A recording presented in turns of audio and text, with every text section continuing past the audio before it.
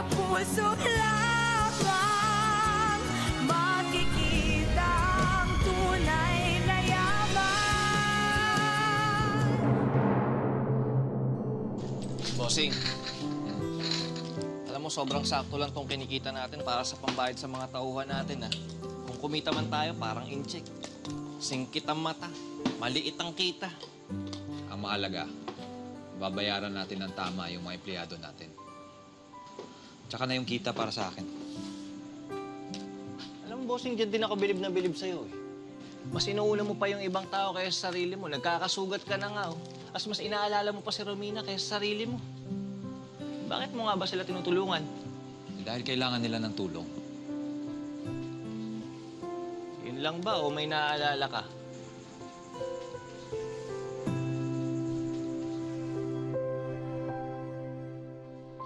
Carlos, matagal pa ba yan? Alam mo, tatawag na lang talaga kami ng iba. Hindi, matatapos na to. Ito, Romina!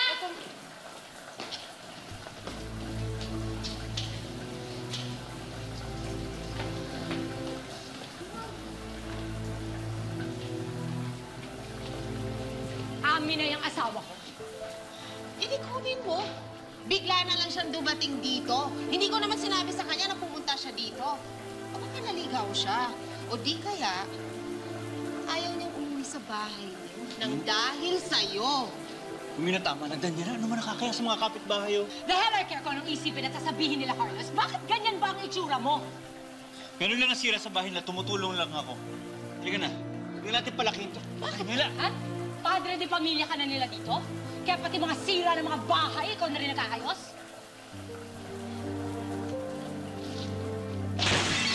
O yan, sige. Fix that, di ba? Yan ang gusto mo? Ayusin yung mga sira ng bahay nila? Sige na! Go! At ikaw naman, sinapupunta mo. Tama na, tama na! Tama ko eh.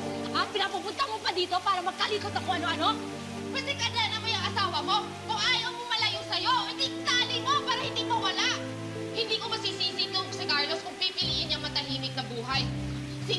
kasi makakatiis niyan sa bunganga mo? Mom, Dad, let's go. Pakinggan yung anak mo. Umalis na kayo dito. Binigay ko ng gusto mo, Daniela.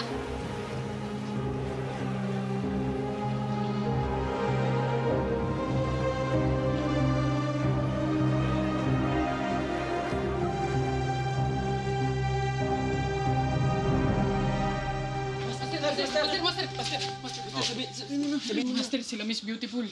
May nagbawalang babae. Ano?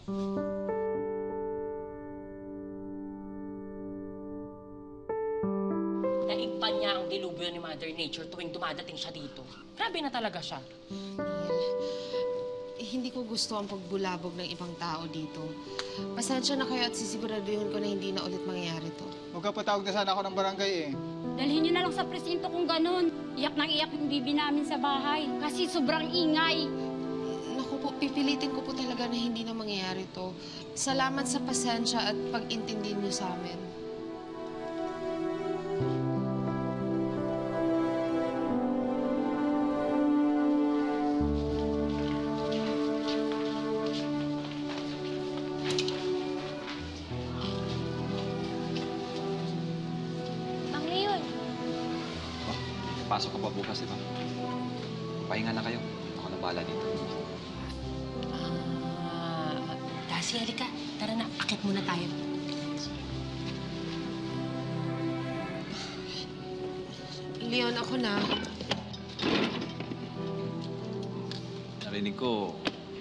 Asawa na pala yung lalaking yan.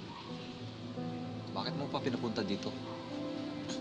Ako ba nagpumilit na pumunta siya dito? Bigla na lang siyang dumating. Kailangan lang talaga umiwas sa ganong klaseng lalaki. Lalo na yung may asawa na. Nagpapasalamat ako sa lahat ng tulong mo, Leon. Pero siguro tama na muna to.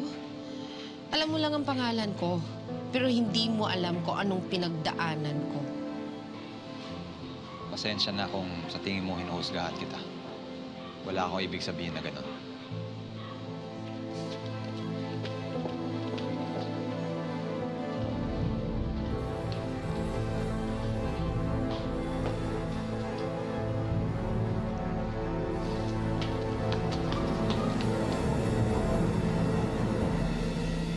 Araw-araw ba talaga kailangan sunduin mo si Cassie para makapunta ka sa bahay nila Romina? Ha? Anong balak mo, ha? Araw-araw mo na rin siya ihahatid? Ano susunod, Carlos, ha? Doon ka naman matutulog? Sabihan mo naman ako para mapadalan kita ng gamit at pagkain dahil nakakahiya naman sa'yo, baka hindi ka komportable. Pwede ba, Daniela? Tama na. Pinagbumukha mo ako masama eh. Tumutulong lang ako sa kanila. Pagkatapos ng lahat na nangyari sa kanila. Really? Tapos ano? Ha? Kakalimutan mo na lang yung pamilya mo? Marga, mag-usap muna kami ng mami mo, please. Bakit? Ayaw mong ipakita sa anak natin kung paano mo ako saktan? Dinedefend mo pa sila? Daniela, ipinagtatanggol ko lang yung sarili ko. Alam mo, Carlos, hindi mo naman kailangan gawin to eh. Pinipilit ko na silang mawala sa buhay natin. Paulit-ulit na lang. Pero ikaw, balik ka ng balik doon. Bakit? Hindi ba pwede isipin mo naman yung pamilya mo kahit isang beses lang? Daniela, wala akong ginagawang masama. Walang masama. Carlos, walang masama kahit na nagkakagulo na yung pamilya mo sa paglaban mo sa kanila. Carlos, baka nakakalimutan mo lahat ng sakripisyong ginawa ko para sa pamilya na to. Nagpunta ako ng Taiwan kahit wala akong concrete goal na kung anong gagawin ko pagpunta ko doon. Binigyan kita ng anak. Pinaglaban kita kay daddy. Binigyan kita ng matinong pamilya. Ikaw, ikaw lang ang iniisip ko palagi. Kahit yun man lang maalala mo. At sinusumbat mo sa akin lahat ng to? Ganyan ka ba magmahal, Daniela? Hindi mo alam kung ano kaya kong isakripisyo para sa mga taong mahal ko. Mukhang digtaan. You're pushing me to my limit, Carlos. Fine, gusto mo ipagpatuloy to? Kayang-kaya kong bawiin lahat, lahat ng means mo para makatulong. Makakaya kong bawiin yung talir. I can do that if I wanted to. Because you are nothing without me. Daniela, alam mo kung paano na ibalik sa akin ang talir. At kaya kong bayaran sa iyo. Anong klase kang tao? Pinamumukha mo akong masama sa harap ng anak natin. Ha? At gusto mo mahalin kita? Sabihin mo sa akin, paano? Paano? Dad!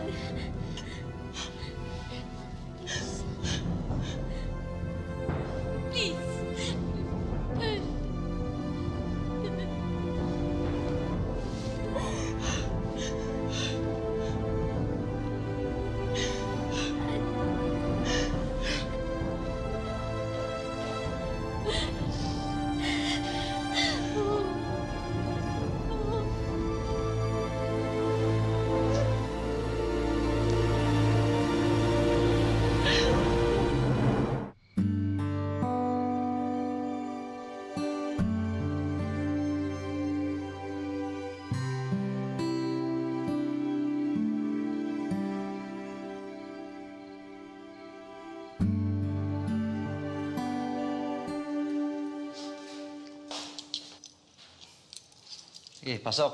Dito lang kami.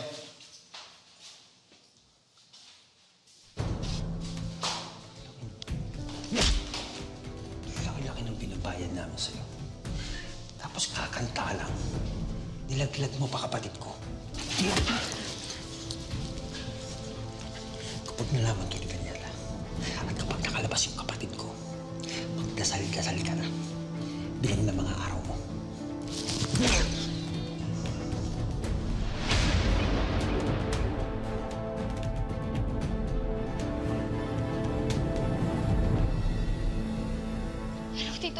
Buti sumagot na po kayo.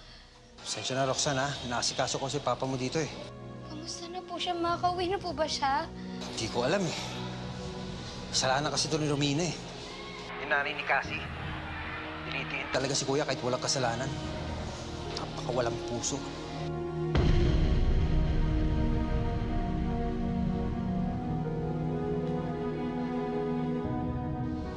Chief, Bossing, may tanong lang ako.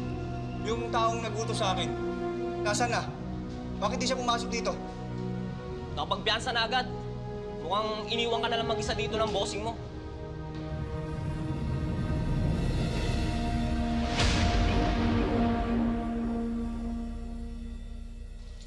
Kaya naman pala maayos ang ligo ko kanina, ate. Naayos mo na pala yung sira dun sa tubo. Neil, hindi ako gumawa. Matapos magligpit, bumalik na agad ako. Maghanap sana ako ng gago. Eh, ang importante, maayos na. Kasi di ba sabi mo, big day ka ngayon? Oo. Papasok ako ngayon sa Sikatuna, imi-meet ko yung may-ari. Sana maganda yung sales namin nito nakaraan. Ikaw pa ba, ate? Eh, sa dami ng effort na ginagawa mo lately para sa Sikatuna, sure ako na may magandang kapalit ang lahat ng yan. Kaya, good luck sa meeting mo mamaya. Ako, ito talagang napakaganda kong kapatid. Salamat! Buti ka pa, ate, di ba? Ganyan ka mag-isip para sa kumpanya, para sa mga tao. Samantalang sa Camila, grabe na ang pagpapahirap ni Daniela sa mga empleyado. Pakiramdam ata niya, robot na lang ang mga tao niya. Hindi na nga nila matiis ang lahat ng yun eh. Neil, alam mo naman na isa lang nasa utak ni Daniela. Ang maging una, ang maging angat. Nakalimutan na niya ang maging makatao. Buti na lang talaga, wala na ako doon at naghahanap na ako ng bagong trabaho. Hindi ko na ma-experience yung impyerno na yun. At sigurado ako makakahanap ka ng magandang trabaho dahil masipag ka at magaling. Kaya natin to. Hmm, Siyempre naman nagmana ako sa'yo, ate. Yes, fight lang tayo. Halika na, ate, tara na. Okay. Roxanne! Di ba nung tinawagan mo ko, sabi mo kailangan mo na makakausap o nang makakasama, nandito na ako. Kagabi yun.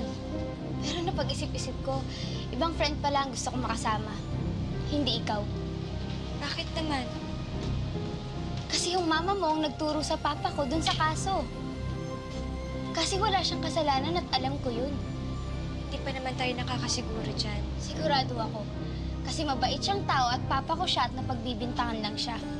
Sa lang at totoo lahat ng yan. Kasi kaibigan kita tsaka ayaw ko nakikita kang ganyan.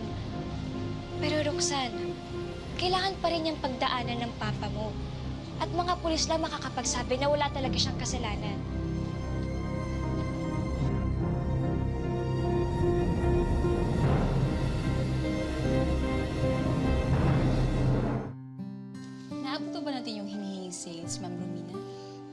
Iyan ang pinag-uusapan ngayon sa board. Hintayin na lang natin kung anong resulta. Well, guys, ginawa na natin lahat ng makakaya natin within this week. Kaya kung ano man ang resulta, pwede tayong maging proud sa na-accomplish natin. Pero sana po umabot tayo para naman po hindi sayang yung efforts natin. Umabot man tayo o hindi, hindi masasayang ang effort natin. Ang importante na ipakita natin kung anong kaya natin gawin at yun ang mahalaga.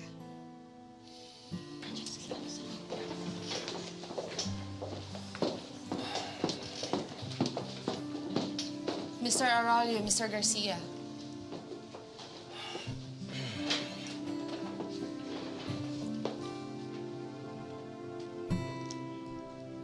Congratulations sa team mo, Rowena.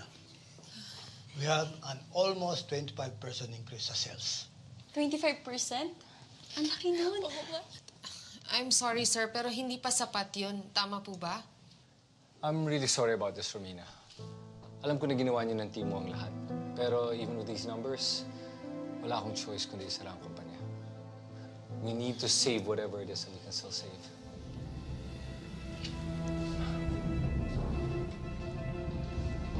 I'm sorry.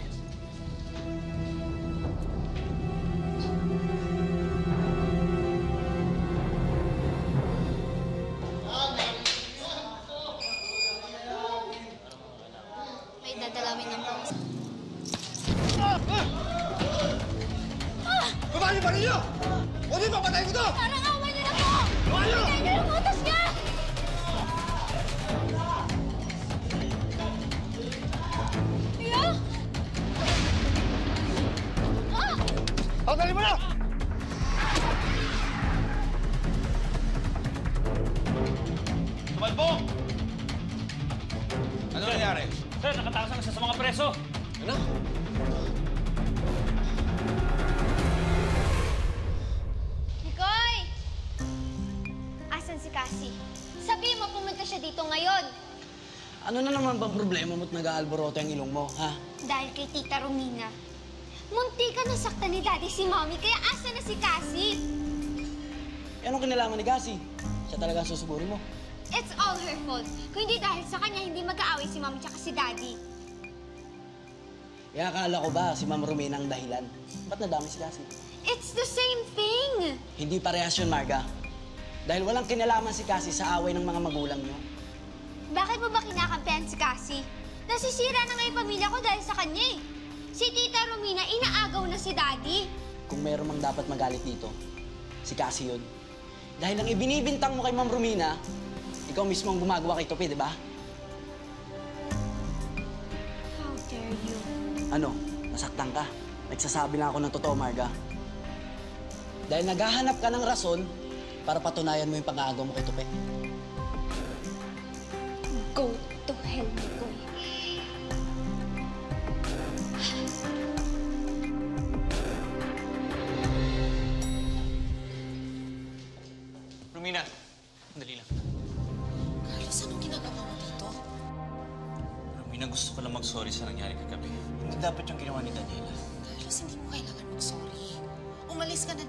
baka sumugod pa yung asawa mo.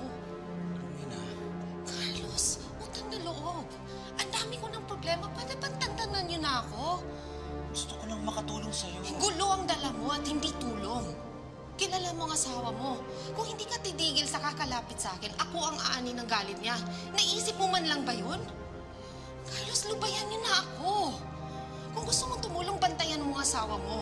Hindi ako yung ginugulo ninyo.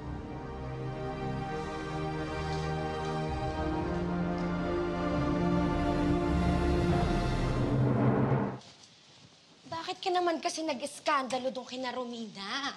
That's the job of the mistress, you know? What do you expect me to do, ha? Pabayaan ko na lang landay na babaeng yon, asawa ko? Asawa mo ang lumapit kay Romina, not the other way around, Danny. Pero hindi naman lalapit si Carlos sa kanya kung hindi niya binibigyan ng dahilan. Danny, alam nating pareho na ang asawa mo ang kailangan lagyan ng collar. Ha? Nagbubulag-bulagan ka pa rin ba? Daniela, we have a big problem. Humihingi na ng sales report ang board pero hindi pa natin na-dispose ng excess product.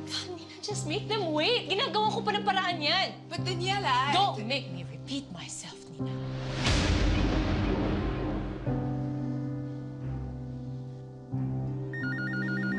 Ako na. Daniela Bartolome's office. What? Sige, sige, sasabihin ko sa kanya.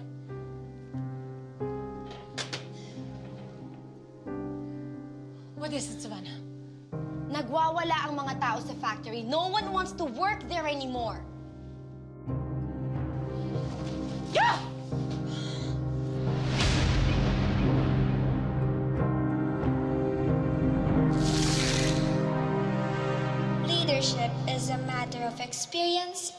Skills. Naging representative na ako ng Maxwell to various competitions. And for two years now, ako ang napili na maging captain ng dance troupe. Compared to my other co-candidate, naipakita ko na sa lahat yung mga kaya kong gawin.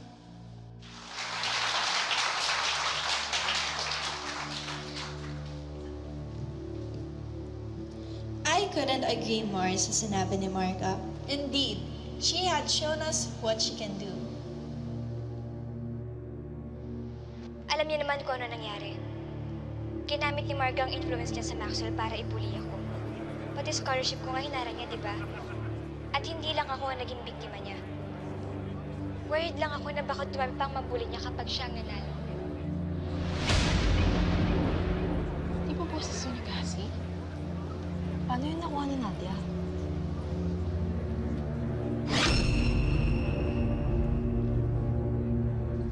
Nice editing, Nadia.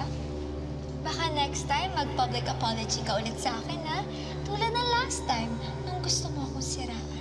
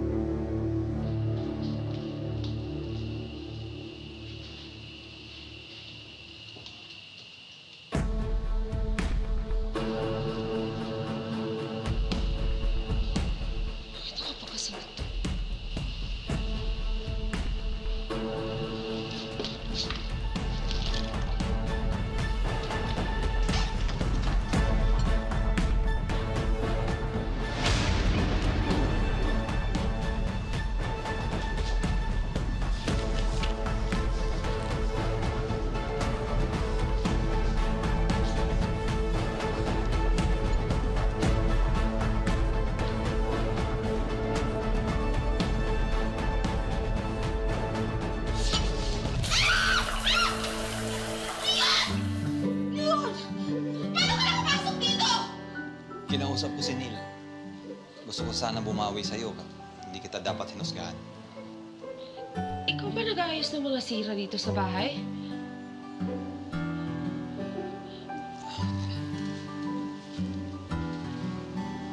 Magbihis ka na muna, baka magkasak.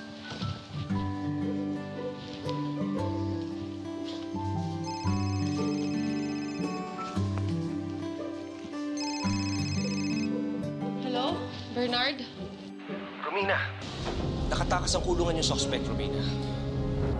Ano? Pupunta ka sa presinto, di ba? Ihahatid na kita. Hindi na kailangan, Leon. Mabuti na ang sigurado. Hindi natin alam kung saan yung mamamatay tao yan.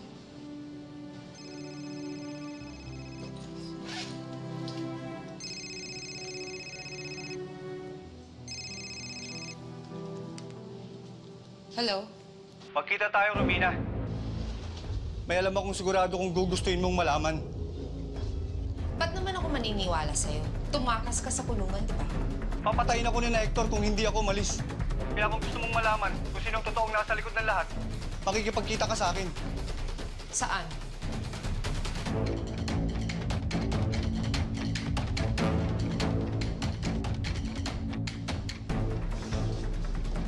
Makikipagkita ka sa kanya, Romina.